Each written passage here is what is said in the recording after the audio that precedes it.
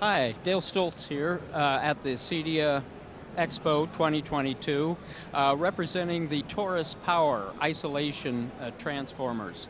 Uh, Torus Power uh, manufactures um, um, toroidal uh, transformer isolation transformers to electrically isolate any audio and video system from the um, grid, noisy uh, power coming off the grid, and um, and they um, give benefit by buffering the current in a very large over-engineered isolation transformer, and then also protection by um, by the transformer electrically isolating it from the grid.